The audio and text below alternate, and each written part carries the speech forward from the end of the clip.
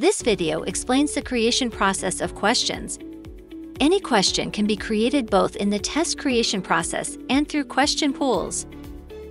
You may navigate to the question pools in the tests, decide whether you want to create a question for an existing question pool or create a new one. Let's create a question in some of the existing question pools.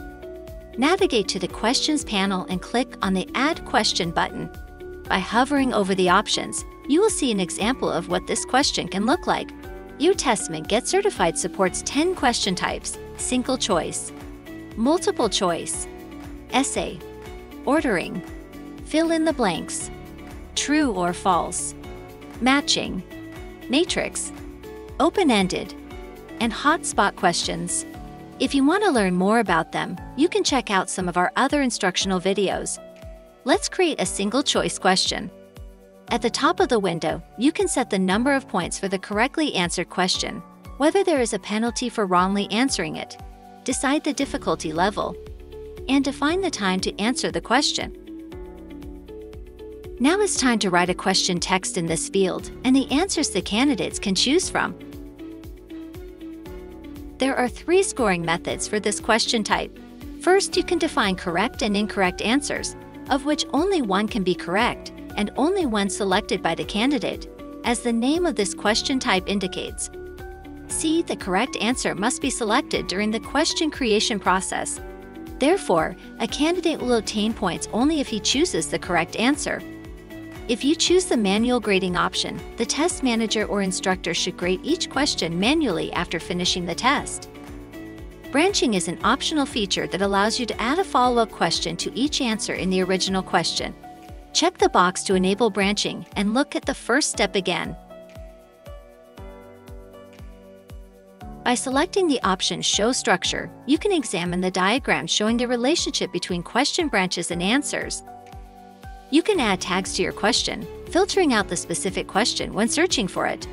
If you want to connect this question with some external system, add an external ID. In the generator settings, you can decide the difficulty of this question and its frequency in the test. They are applied when the test is created using a test generator. Under that, we have some additional settings for adding multimedia to your question. Choose existing multimedia from the application library or add a new one.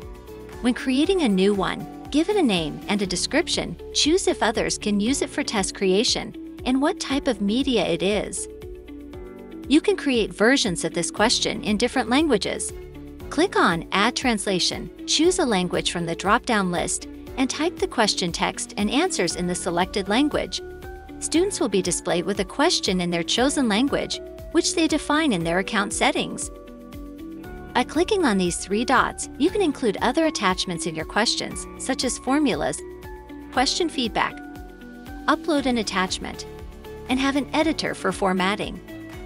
Moreover, you can also add assistance. If the candidate chooses to use the assistance, a penalty will be applied to the question score. If you define the assistance to the question where the branching is allowed, the branching option will be disabled. One of the assistances is called additional time.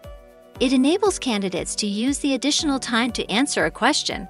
By adding hint, you can give the candidate a hint to the answer. During the test creation process, several more possibilities affect question settings.